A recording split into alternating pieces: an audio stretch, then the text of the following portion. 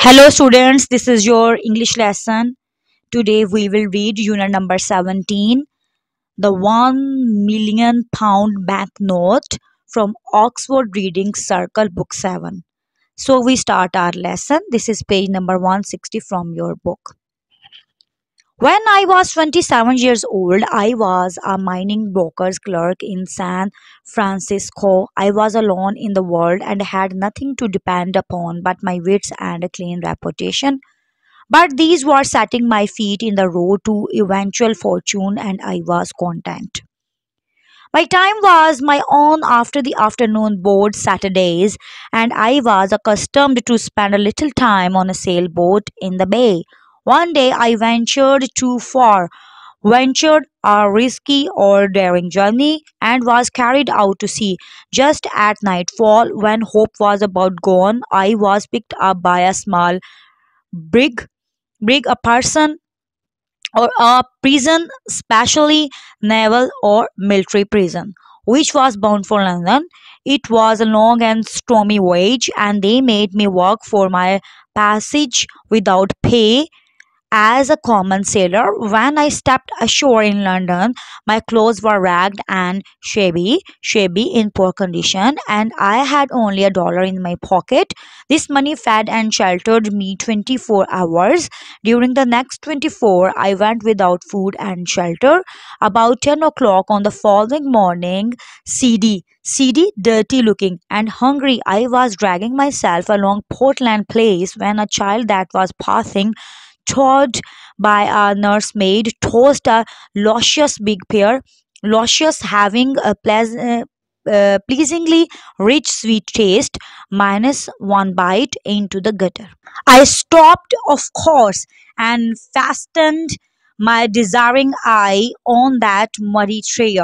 My mouth watered for it, my stomach craved it, my whole being begged for it.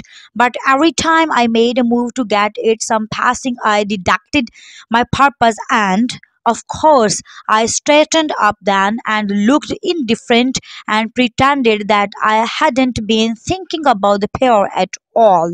I was just getting desperate enough to brave all the shame and to seize it when a window behind me was raised and a gentleman spoke out of it, saying, Step in here, please.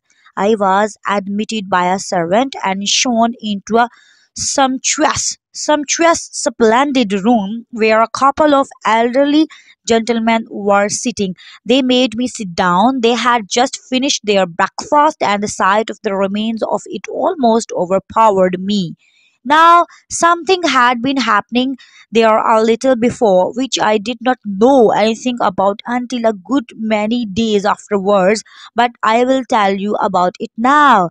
Those two old brothers had been having a pretty hot argument a couple of days before and had ended by agreeing to decide it by a bet, which is the English way of settling everything.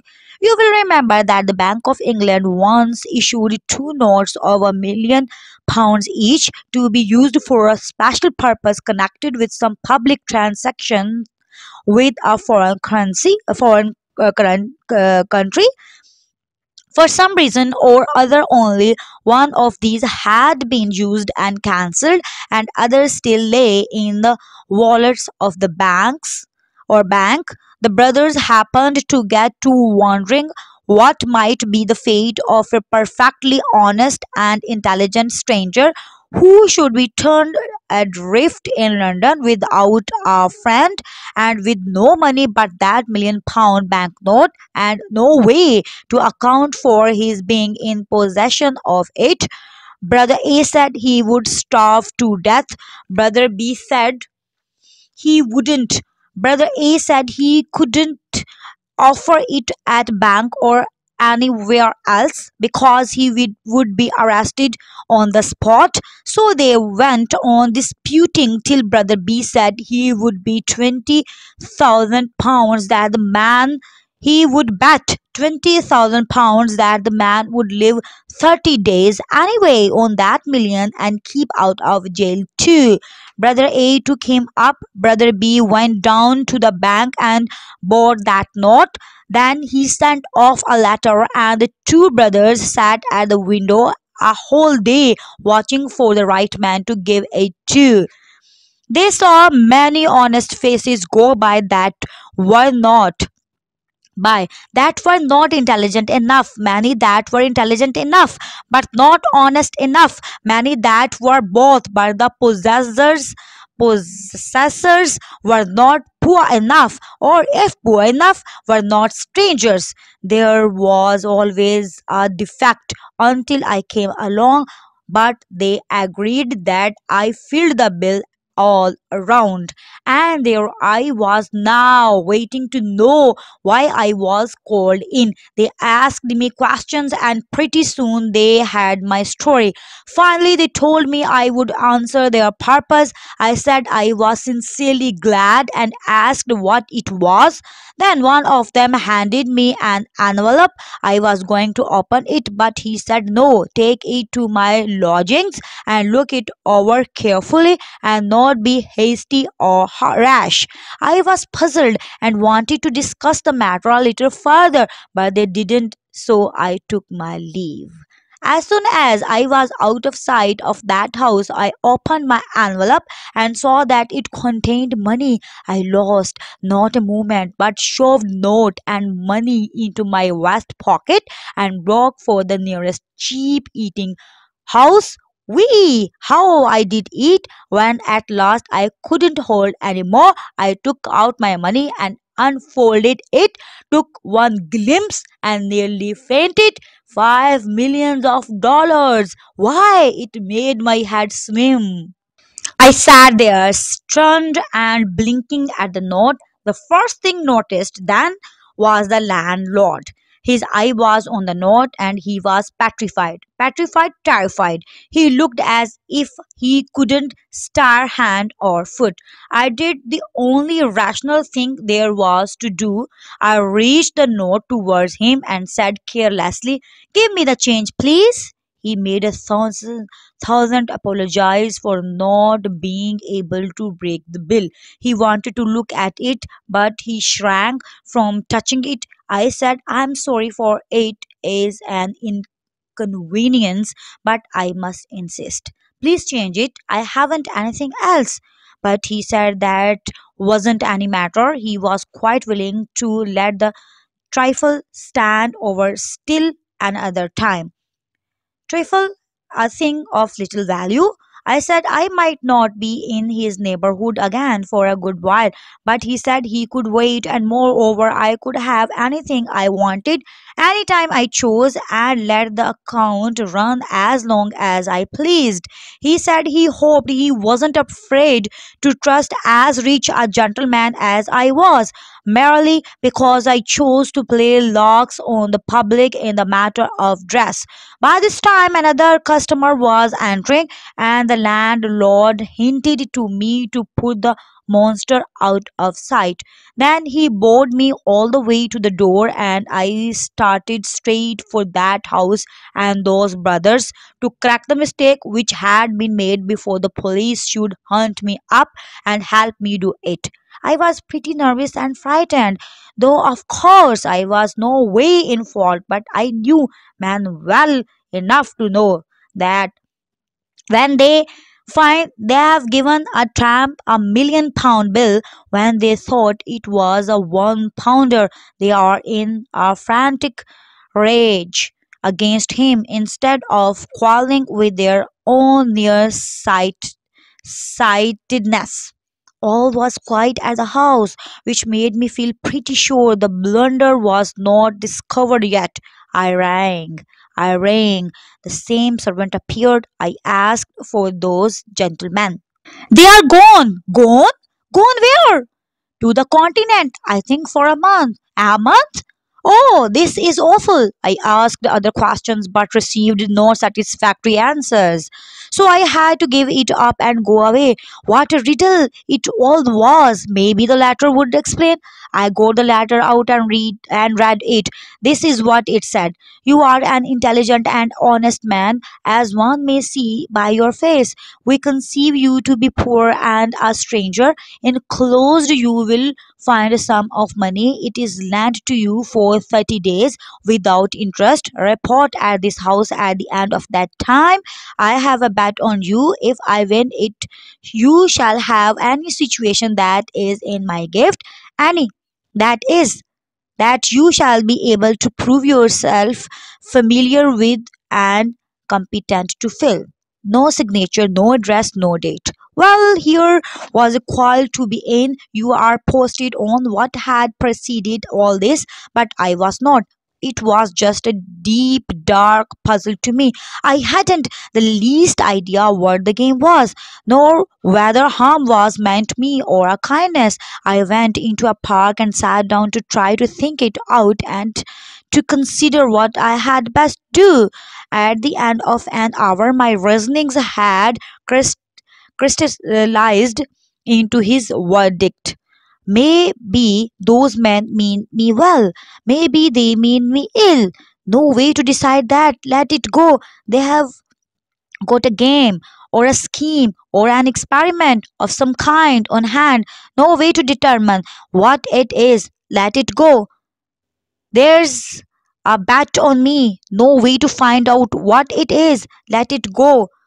That disposes of the indeterminable quantities. Indeterminable, impossible to know. The remainder of the matter may be classed and labeled with certainty. If I ask the Bank of England to place this bill to the credit of the man it belongs to, they will do it, for they know him, although I don't. But they will ask me how I came in possession of it, and if I tell the truth, they will put me in the asylum. Naturally, asylum an insti- institution for the care of people naturally and I will land me in jail the same result would follow if I tried to bank the bill anywhere or to borrow money on it. I have got to carry this immense burden, immense, extremely large, around until those men come back. It is useless to me, and yet I must take care of it while I bag my living. I couldn't give it away if I should try, for neither honest citizen nor highwayman would accept it those brothers are safe even if i lose their bill or burn it they are still safe because they can stop payment and the bank will make them whole. But meantime i've got to do a month's suffering without wages or profit unless i help win that bit bet whatever it may be and get that situation that i am promised i should like to get that. I go to thinking a good deal about that situation. My hopes begin to rise high. Without doubt the salary would be large. It would begin in a month. After that i should be all right. Pretty soon i was feeling first rate by this time. I was tramping the streets again. The sa- the sight of a tailor shop gave me a sharp longing to shed my rags and to clothe myself decently once more. Could I afford it? No, I had nothing in the world but a million pounds, so I forced myself to go on by. But soon I was drifting back again. The temptation persecuted me cruelly. At last I gave in. I had to. I asked if they had a misfit suit that had been thrown on their hands. The fellow I spoke to nodded his head towards another fellow and gave me no answer. I went to the indicated fellow and he indicated another fellow with his head and no words. I went to him and he said, Ten to you presently. I waited till he was done with what he was at then. He took me into a back room and overhauled it a pile of rejected suits. Overhauled it, overtake or overtaken, and selected the rattiest one for me, rattiest irritable. I put it on It didn't fit, but it was new and I was anxious to have it, so I didn't find any fault but said it would be an accommodation to me if you would wait some days for the money. I haven't any small change about me. The fellow worked up a more sarcastic expression of countenance. Sarcastic, ironic, countenance facial expression and said, Oh, you haven't? Well, of course, I didn't expect it. I would only expect gentlemen like you to carry large change. I was nettled and said, My friend, you shouldn't judge a stranger always by the clothes he wears. I am quite able to pay for this suit. I simply didn't wish to put you to the trouble of changing a large note. He modified his style a little at that and said, Though, still, with something of an air. I didn't mean any particular harm, but as long as rebukes are going, I might say it wasn't quite your affair to jump to the conclusion that we couldn't change any note that you might happen to be carrying around. On the contrary, we can. I handed the note to him and said, Oh, very well, I apologize. He received it with a smile, one of those large smiles which goes all around over and has folds in it and wrinkles and spirals and looks like the place where you have thrown a brick in a pond and then in the act of his Taking a glimpse of the bill, the smile froze solid and turned yellow and looked like those wavy, wormy spreads of lava which you five find ha, ha, five uh, find hardened on little levels on the side of Vesuvius. I never before saw a smile caught like that and perpetuated perpetuated to cause something to continue the man stood there holding the bill and looking like that, and the proprietor hustled up and said briskly, Well, what's up? What's the trouble? I said, There isn't any trouble. I am waiting for my change. Come, come, get him his change. Tot, Tod retorted. It's easy to say, sir, but look at the bill.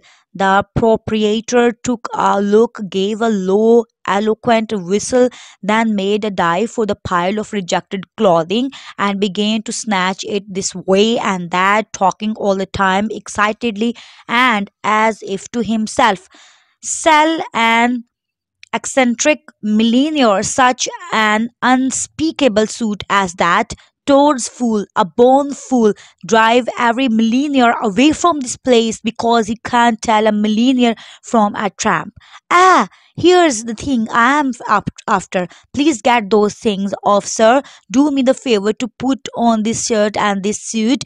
It's just the thing, the very thing. Plain, rich, modest, made to order for a foreign prince, but that's all right. We can't always have things the way we. There, Trousers all right. They fit you to a charm, sir. Now the waistcoat. Ah, right again. Now the coat, Lord. Perfect. The whole thing. I never saw such a triumph, triumph in all my experience. I expressed my satisfaction. Quite right, sir, quite right. But wait till you see what we will get up for you on your own Meyer. Come toward book and pan, get at it, length of leg 32, and so on. Before I could get in a word, he had measured me and was giving orders for dress suits, morning suits, shirts, and all sorts of things. When I got a chance, I said, But my dear sir, I can't give these orders unless you can wait indefinitely or chain the bill indefinitely it's a weak word sir. Uh, Eternally that's the word sir. Tod rush these things through and send them to the gentleman's address. Let the minor customers wait. Sat down the gentleman's address and i'm changing my quarters. I will drop in and leave the new address. Quite right sir. Quite right. One moment. Let me show you out sir. There. Good day sir. Good day well, don't you see what was bound to happen? I drifted naturally into buying whatever I wanted and asking for change. Within a week, I was sumptuously equipped with all needful comforts and luxuries and was housed in an expensive private hotel. I took my dinners there, but for breakfast I stuck by Harris Harris Humble Feeding House, where I had got my first meal on my million pound bill. I was the making of Harris. The fact had gone all abo- abroad that the foreign crank who carried million pound bills in his vest pocket was the patron saint of the place. That was enough. From being a poor, struggling little enterprise, it had become celebrated and overcrowded with customers. Harris was so grateful that he forced loans upon me and would not be denied. And so, pauper as I was, I had money to spend and was living like the rich and the great. I judged that there was going to be a crash by and by, but I was in now and must swim across or down. I had become well known, and it turned my head. You could not take up a newspaper without finding in it one or more references to the West Pocket Million Pounder and his latest doings. At first, in these mentions, I was at the bottom of the personal gossip column. Next, I was listed above the knights, next, above the barons, and so on. Why I just swam in glory all day long, that is the amount of it. Exercises A questions 1. What was the wager between the brothers? Answer.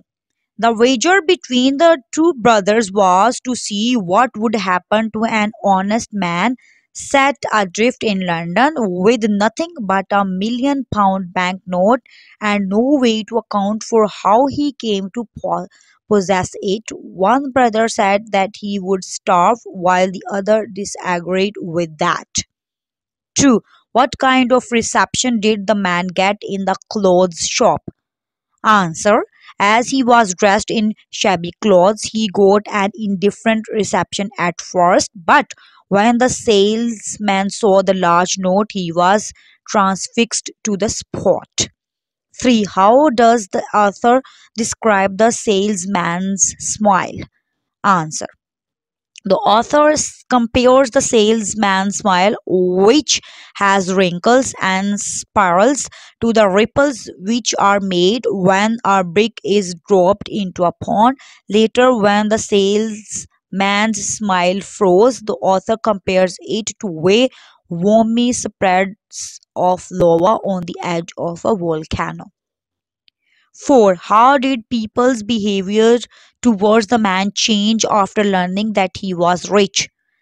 Answer the man the news that the man carried a million pound note in his pocket had gone around thus making him famous there were daily references in the newspaper about the eccentric millionaire which began at first at the bottom of the gossip columns but soon went on to become the front page news 5. In what way did the man's fame spread?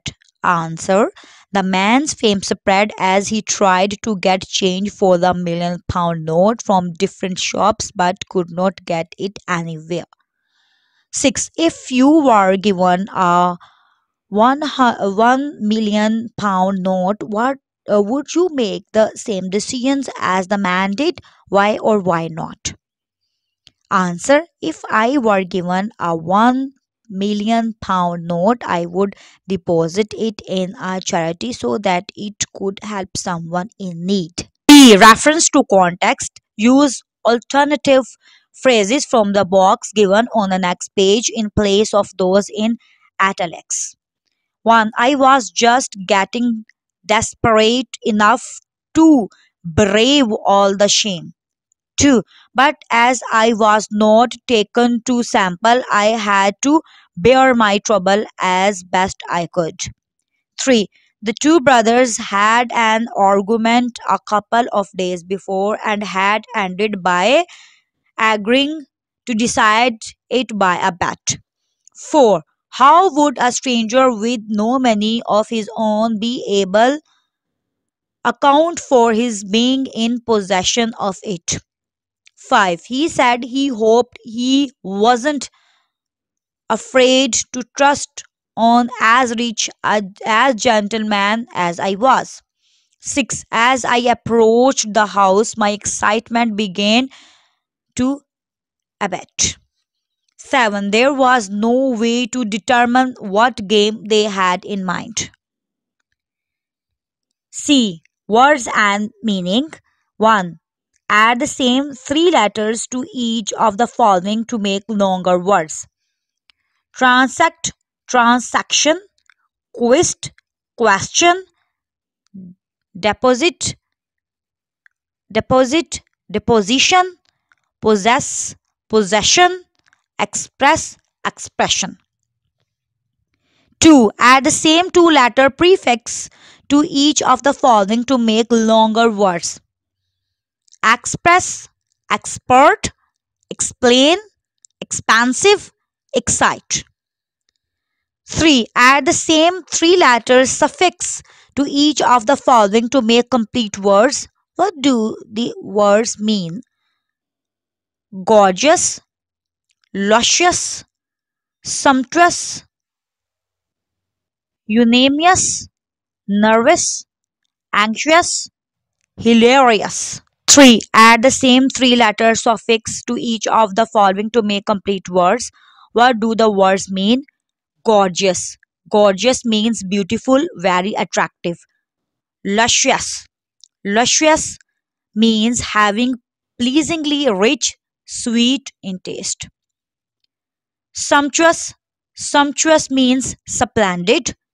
Un unanimous. Unanimous means of two or more people fully in agreement. Nervous means worried or slightly frightened. Anxious. Anxious means feeling or showing worry or concern. Hilarious. Hilarious means extremely amusing. D. Discuss and write. What do you think happened next? Does the man lose the money? Does he make more? What other adventures does he have? You can make up your own ending. Alternatively, you can read the full account to find out what Mark Twain had in mind. Answer. He spends time in parties, invites American ambassador to dinner party at his house. He, deci- he decides to drumming up interest in the shares. People listen to him and the shares do sell and in this way he earns his own dollars in a bank account at the end of the month. Thanks for listening. For new videos, don't forget to subscribe my channel. And if you like my videos, please share and like.